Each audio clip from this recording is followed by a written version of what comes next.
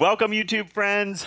I'm John Garey from John Garey TV, and we're about to do a fundamental reformer workout. This is beginner level, and we're going to do a full body workout using some of the uh, traditional repertoire and a few variations that will help you get ready for uh, other exercises and also help you get stronger and more mobile. I'm going to begin with footwork, and I have three red or three heavy springs on my reformer. I'm going to come down onto the carriage and position myself right in the center. Then I'm going to put my feet on the foot bar. I'm on the balls of my feet and I'm creating a small V with my feet. So my toes are apart and my heels are together. The knees are about shoulder distance apart. And then I'm going to take a big breath in through my nose and exhale and press the carriage out and then return. I want to keep the carriage flowing. So I don't want any stops if possible. That's one of the things we want to practice in Pilates is having nice fluid breath and nice fluid movement. So when in doubt, just keep breathing. But if you can for today, exhale as you reach away and inhale to return. What I'm looking for is work in the foot, ankle, and thighs. So I'm pressing away, straightening the knees, and then coming back in. Let's do two more like this. One more and then come in. Now let's put our heels on the bar. So we're going to bring the legs together right in the center of the foot bar, and you're going to push into the center of the heel, press out, and return. Press and return. We do an exhale to press out, inhale to return. You may notice that by switching from the balls of the feet to the heels, we're able to get more with the glutes and hamstrings, the back side of the thigh. So I want you to focus on that part. And also focus on not snapping the knees as you straighten them or crashing into the stopper as you return the carriage. Four more. Three, two, one more time. Now come on back in, and we're going to go into what's known as the high half toe. So really, that's just at the end of the ball of the feet. So think standing on the floor on your tiptoes. That's what you want. Keep the heels lifted, press out, and come in. Now you're going to feel the work shift to the calf muscles more and to the quads in this foot position. And press. We're still nice fluid breathing, exhaling out, inhaling to return. Four more. Three, now, on this last one, you're going to hold your legs straight and then lower the heels under the bar, so kind of a calf raise, and then lift back up. Exhale under, inhale to raise them back up. Lower and lift. Down and up. Now, don't lock your knees out. You want to keep them straight, but not hyperextended. And I also want you to think about hugging the glutes toward each other, pulling the abs in and bringing the inner thighs toward each other. And you're going to feel that work shift and go all the way up the backside of the leg. Let's do four more. Don't bounce. Three. Exhale as you reach under. Two. And one. And then come all the way in. Now let's take the heels to the outside of the foot bar with the legs turned out. Push away and return. Rest and return. That's it. This should feel good after what we just did. I love this back to back exercise. And we're going to do five more. This is a good glute one, so focus on that. Four, three, two, and one. Now come in and just shimmy away from the shoulder rest just a little bit. And you can either leave your feet down, or I'm going to bring my legs up into tabletop. Take a breath in, and then as I exhale, I'm going to do kind of a variation on a crunch. We call this in Pilates the hundreds position with your upper body. So stay there for a second. Your eye level should be down, shoulders are slightly forward, arms are just floating, and then lower back down. Come on up, exhale. You think of sliding your ribs to your hips, but not lifting the tailbone up. Keep the tailbone down. and then lower back down. Exhale up. Now, if this is getting to be too much and it's hard to hold your legs up here, just put your heels back on the foot bar. And again, exhale up. Also, your neck muscles need to strengthen. So once they fatigue, they can start to really feel tense. And if that's happening, you can just take your hands and support your head. Exhale up. And down. Last two. Come up. And down one more time. Curl up. And down. Hey guys, before we continue the workout, I just want to tell you about John Garey TV. On John Garey TV, you'll see workouts like this without any ads or any interruptions. We have literally thousands of workouts on John Garey TV. We've got mat workouts, reformer workouts, all kinds of workouts. And we have lots of different subscriptions so you can find the one that's perfect for you. If you check out our link above, you'll see that your subscription is 50% off your first month. I hope you'll join me over on John Garey TV. And now let's get back to work. All right, now we're going to come up and change our springs so that now we have two red or two heavy springs on. And we're going to come back down onto the carriage and grab your straps. Push the carriage out from the footbar with your feet and take one foot and place it in the strap. Push into that strap and take the other foot and place it in. Bring your legs together and bend them into what we call tabletop position. Press away and come back in. So if you're newer to the reformer, this can be a position that's tricky to control in the beginning. Your legs kind of want to fly all over the place. So we want to keep the abs really engaged and you want to keep the legs together. That's going to help you control the movement and move slowly. The goal is to move the hip joint and the knee joint, but not change the position of the pelvis. So we're really working the lower part of the body, just the legs. We're not changing our spine or pelvis position. Exhale away. Inhale to come back in. Two more. And return. And one more time and come in. Now you're going to press out and stay there. The legs are straight. You're going to hinge up, meaning just the legs lift, not your bum. Keep your bum weighted. And you're going to feel a nice stretch through the hamstrings. Then pull back down. Inhale, you want the legs to come up, but remember, don't lift the tailbone. And come back down. This is giving us a more true hamstring stretch than if we allow the tailbone to curl up. So we don't want that pelvis to rock back. We want to keep it level. Two more times. Lift. Relax the neck and shoulders. One more time. Inhale, the legs come up. And exhale to lower back down. Now you can lift the legs up, hold them there, and just open and close. This is an adductor or inner thigh stretch. Two more. Reach and close. And one more time reach and close and come down. Really nice mobility for the hip. Now let's take one foot out and reach for the foot bar. Then take the other foot out and come on in. Come on up. And we're going to change our springs now to just one heavy or one red. I'm going to have a seat facing the back. There's a couple of options here, but first I want you to make sure that you're seated with some room behind you. Then you can have your legs folded like this, or you can take your legs between the shoulder rests. Side by side if they'll fit, stacked if not. Sit tall, hold the straps in your hands, and pull back. This is a prep for our back rowing series, and it's known as the plow, pulling back and coming forward. Sit nice and tall.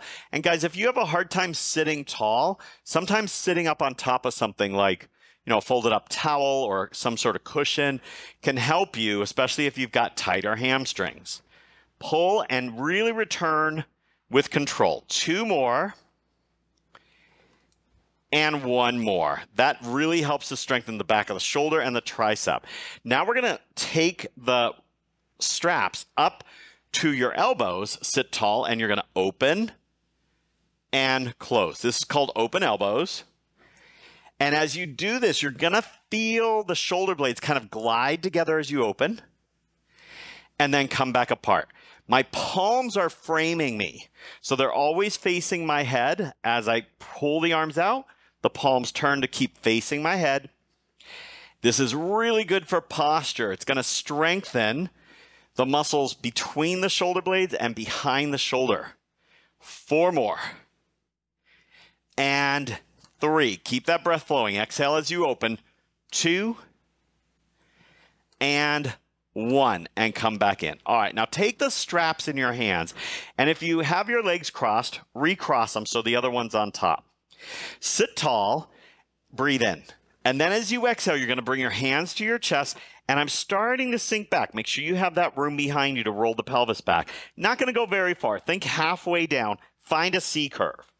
Then take the shape forward over the legs and try to stack the spine from tail to head. Exhale, sink back, pull the tailbone underneath you, pull the hands toward your chest.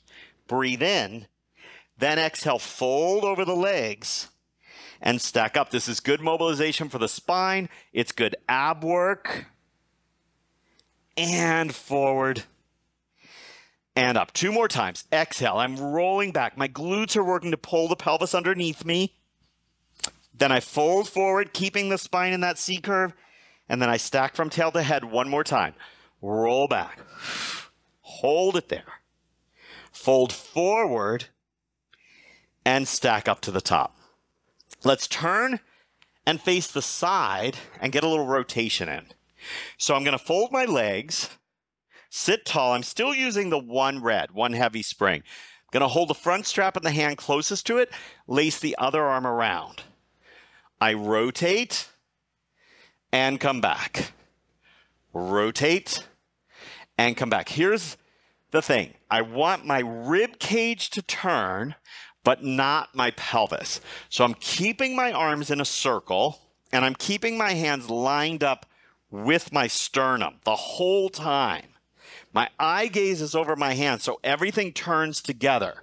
Four and three and two. One more. And turn back. Beautiful. All right, now I'm going to turn around and do that same thing facing the other way. So let's review. I sit, legs folded, grab the front strap in the hand closest to it, lace the other hand over the top, form a circle with your arms, sit tall, turn the ribs, and return. Rotate and come back. Sitting tall. Exhale to turn. Inhale back. Try to keep the weight centered on your sit bones.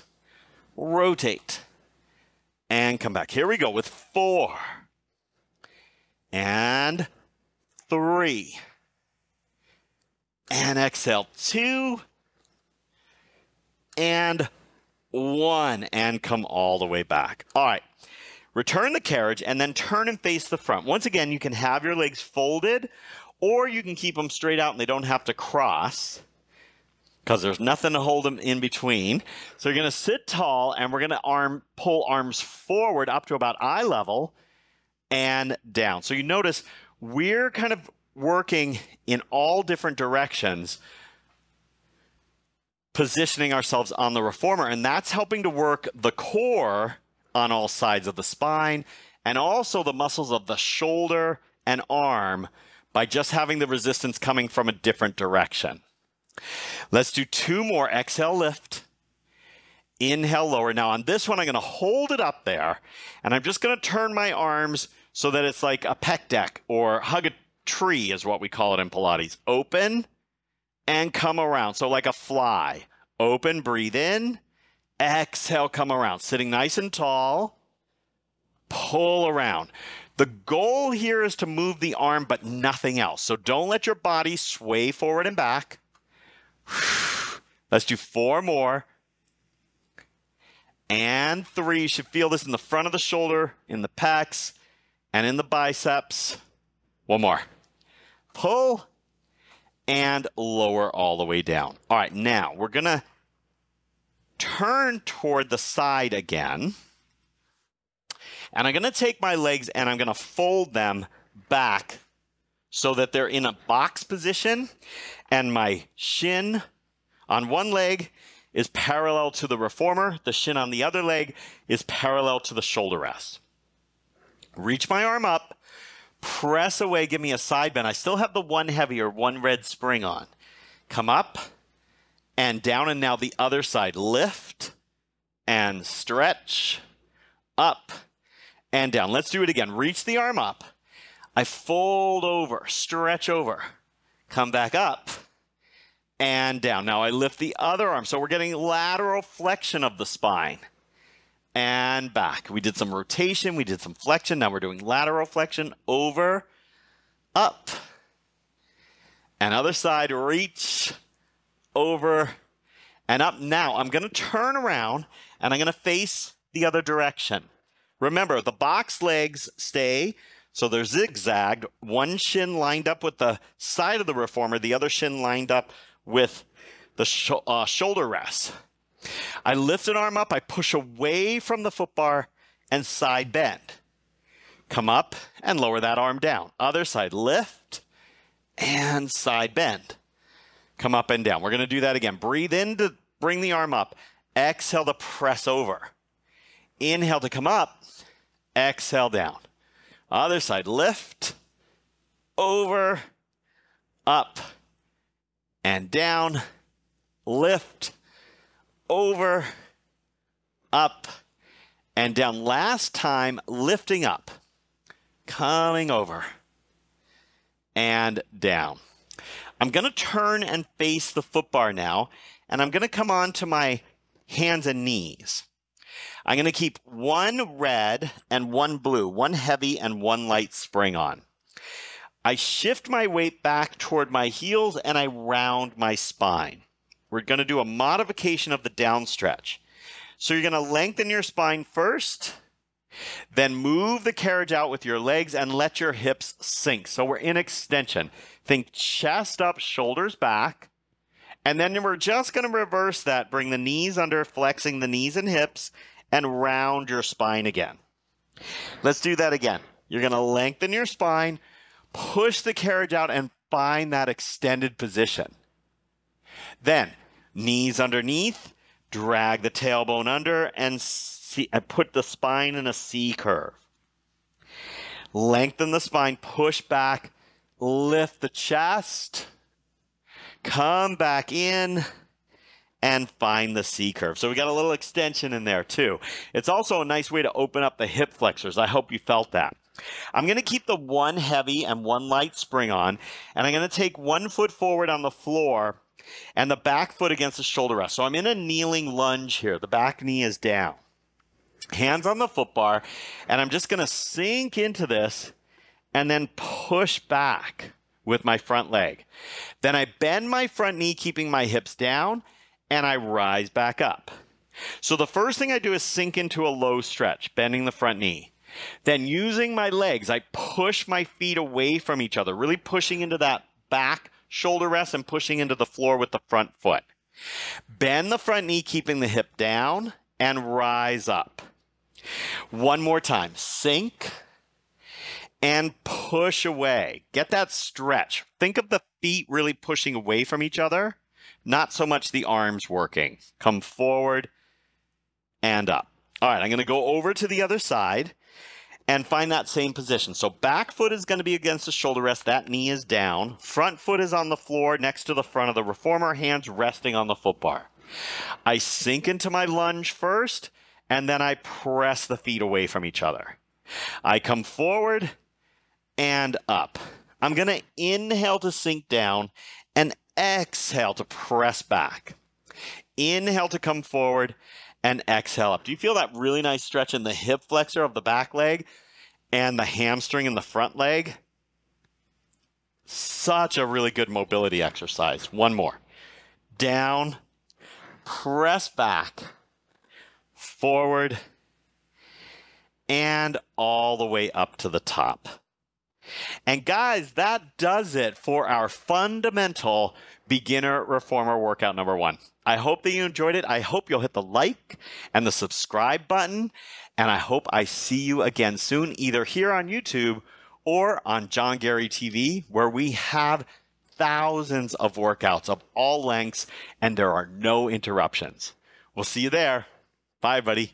Hey, everybody, thank you so much for working out with me today. I hope that you enjoyed that workout. And if you did, I hope that you will join us over on John Garey TV. John Garey TV has over a thousand workouts that include reformer, Pilates mat, and fitness. We are your at home Pilates and fitness studio. Right now, if you sign up, you'll get 50% off your first month. And it doesn't matter if you don't have a reformer. If you've got a mat, you can have a mat membership. If you've got some fitness gear, you can have a mat and fitness membership.